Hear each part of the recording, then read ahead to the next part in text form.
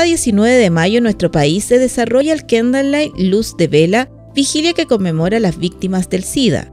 Nuestro hospital no queda ausente a esta instancia que además permite concientizar, educar y sensibilizar a la población en general, permitiendo crear un diálogo y hacer el llamado a la prevención.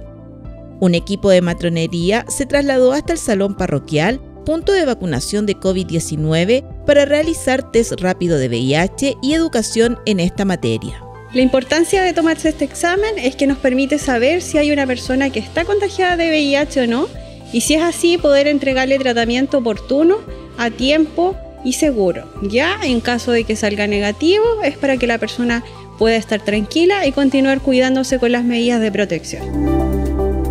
Quienes esperaban por la inoculación ante el COVID-19 accedieron voluntariamente a realizarse la toma de muestra y con una espera de 15 minutos conocieron sus resultados. Si alguien se lo quiere hacer, independiente si cree o no que tiene algún tipo de, infección o algo, está bueno porque es rápido, es sencillo, indoloro. De manera preventiva yo creo que es una buena opción de aprovechar esas opciones que se dan desde el servicio de salud para que uno se pueda estar eh, revisando o viendo si hay alguna dificultad, alguna enfermedad. Algo.